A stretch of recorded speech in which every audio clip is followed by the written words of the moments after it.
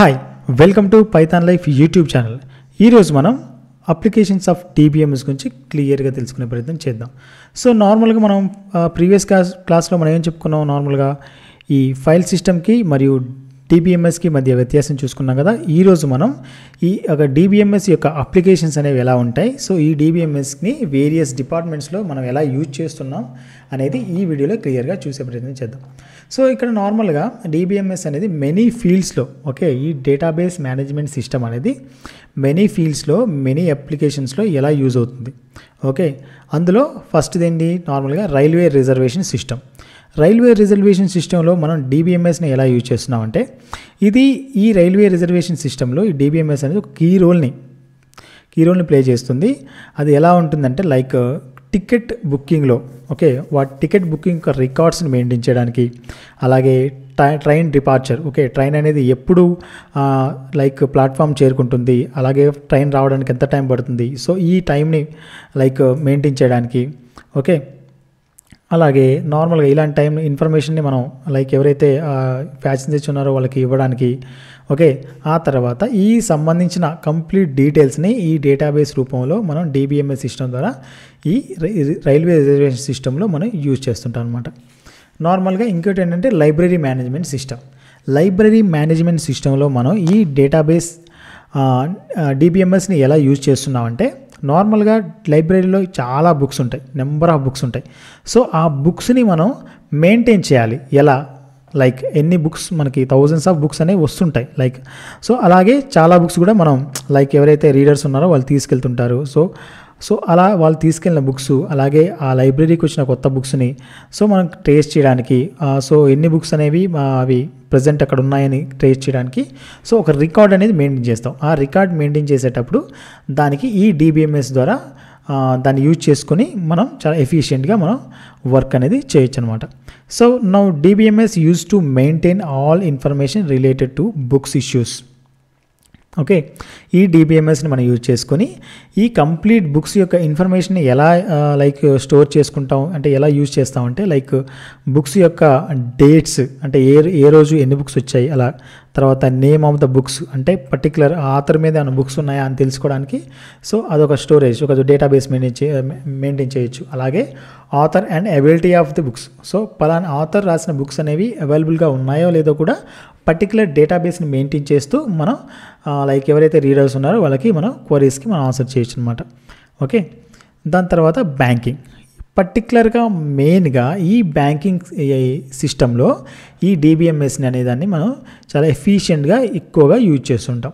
So we all know there will be a thousand transactions okay బ్యాంకులో thousands of transactions అనేవి daily జరుగుతుంటాయి okay ఈ జరుగుతున్నప్పుడు ఈ థౌజండ్స్ ఆఫ్ ట్రాన్సాక్షన్ ఎలా మెయింటైన్ చేస్తావు? ఓకే అలా మెయింటైన్ చేయడం? ఎలా మెయింటైన్ చేస్తాం? అలాగే ఎలాంటి రికార్డ్స్ మెయింటైన్ చేస్తాం? ఎలాంటి స్టోరేజ్ మెయింటైన్ చేస్తాం? సో ఈ కంప్లీట్ సిస్టమ్ అనేది మనం డిబిఎంఎస్ని యూజ్ చేసుకుని రన్ చేస్తూ ఉంటాం అనమాట okay this is all possible just because of DBMS ఇదంతా ఎలా పాసిబుల్ అవుతుంది? బ్యాంకింగ్ సిస్టంలో ట్రాన్సాక్షన్ కానీ స్టోరేజ్ కానీ మనీ ట్రా మనీ ట్రేస్ చేయడం కానీ ఎంత ఎలా పాసిబుల్ అవుతుందంటే కేవలం డిబిఎంఎస్ ద్వారా మనం దీన్ని పాసిబుల్ చేస్తాం. సో ఆల్ ట్రాన్సాక్షన్స్ అనేవి. దాని తర్వాత యూనివర్సిటీస్ అండ్ కాలేజెస్ సో నార్మల్గా మనం ఈ నవే డేస్లో మనం ఏం చేస్తున్నాం? Examinations are done in online కంప్లీట్గా ఆన్లైన్లో ఎగ్జామినేషన్స్ అనేవి జరుగుతున్నాయి. సో ఈ యూనివర్సిటీస్ అండ్ కాలేజెస్ ఏం చేస్తున్నాయి? Maintaining DBMS to store student registration details results course and grades all information in the database ఈ డేటాబేస్ని యూజ్ చేసుకొని ఈ కాలేజ్ అండ్ యూనివర్సిటీస్ అనేవి ఏం చేస్తున్నాయి అంటే లైక్ డిబిఎంఎస్ని యూజ్ చేసుకొని స్టూడెంట్స్ యొక్క రిజిస్ట్రేషన్ని మరియు వాళ్ళ డీటెయిల్స్ని పర్సనల్ డీటెయిల్స్ని అలాగే వాళ్ళ రిజల్ట్స్ కోర్సెస్ గ్రేడ్స్ వీటన్నిటిని మనం ఈ డేటాబేస్ని యూజ్ చేసుకొని మేనేజ్ చేస్తున్నాం. అనమాట so for example telecommunication okay so without DBMS there is no telecommunication company okay ఈ డిబిఎంఎస్ అనేది లేకపోతే అసలు టెలికమ్యూనికేషన్ సిస్టమ్ అనేది ఉండదు. ఎందుకంటే టెలికమ్యూనికేషన్లో నెంబర్ స్టోరింగ్ కానీ డేటా స్టోరింగ్ కానీ పర్టికులర్ దానికి సంబంధించిన ఇన్ఫర్మేషన్ ట్రాక్ చేయడం కానీ ఎవ్రీథింగ్ కూడా ఈ డిబిఎంఎస్ని బేస్ చేసుకుని నడుస్తుంది అనమాట సో ఈ డిబిఎంఎస్ అనేది most useful to their companies to store the call details and monthly postpaid bills. ఇప్పుడు ఇందా చెప్పుకున్నాం కదా ఈ పో- ఈ టెలికమ్యూనికేషన్ అనేది ఎలా యూజ్ చేస్తున్నాయని అంటే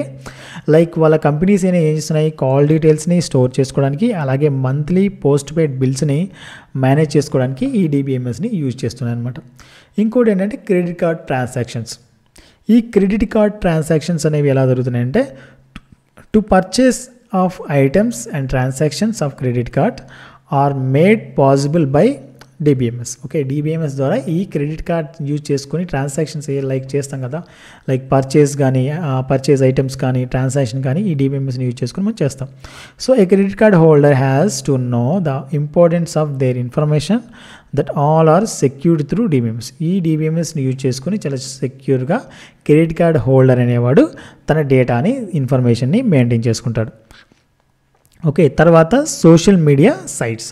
ఈ సోషల్ మీడియా సైట్స్ అనేవి ఏం చేస్తున్నాయంటే నార్మల్గా by filling the required details we are able to access social media platform okay ఈ రిక్వైర్డ్ డీటెయిల్స్ని యూజ్ చేసుకొని మనం ఈ సోషల్ మీడియా ప్లాట్ఫామ్ని యూజ్ చేసుకుంటాం అనమాట సో నార్మల్గా అవి మనం యాక్సెస్ చేసుకుంటాం. So many users sign up daily on social websites ఈ సోషల్ వెబ్సైట్స్ వెబ్సైట్లో చాలామంది డైలీ సైన్ సైన్ ఇన్ అవుతుంటారు. లైక్ ఫేస్బుక్ కానీ లైక్ పాయింట్రెస్ట్ కానీ అండ్ ఇన్స్టా కానీ ఇన్స్టాగ్రామ్ కానీ.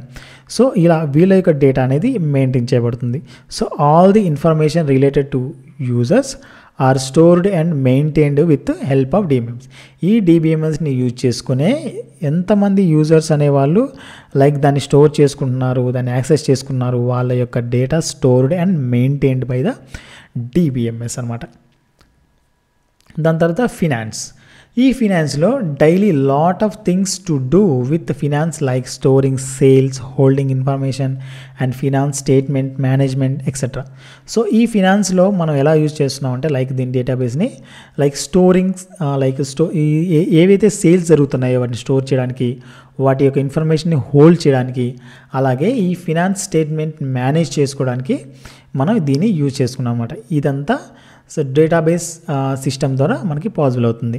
ఇంకోటి ఏంటి మిలిటరీ సో మిలిటరీలో మనం నార్మల్గా డీబీఎంఎస్ ఒక మెయిన్ రోల్ వైటల్ రోల్ అనేది మనం ఈ ఇది చేస్తుందన్నమాట. ఏంటిది అది? లైక్ మిలిటరీ అనేది ఏం చేస్తుంది? Keeps records of soldiers and it has so many files that should be kept secure and safe ఈ రికార్డ్స్ అనేవి మెయింటైన్ చేస్తుంది ఎలాంటి రికార్డ్స్ అంటే సోల్జర్స్ యొక్క ఓకే సోల్జర్ యొక్క పర్సనల్ డీటెయిల్స్ కానీ వాళ్ళ ఫైల్స్ కానీ వాళ్ళ డ్యూటీకి సంబంధించిన ప్రతి ఒక్క రికార్డ్స్ కూడా ఈ ఇది నార్మల్గా ఈ మన డిబిఎంఎస్ని యూజ్ చేసుకొని చాలా సెక్యూర్డ్ పద్ధతిలో మనం స్టోర్ చేసుకోవడానికి మెయింటైన్ చేయడానికి ఉంటుందన్నమాట. DBMS provides high security to military information DBMS అనేది ఏం చేస్తుంది?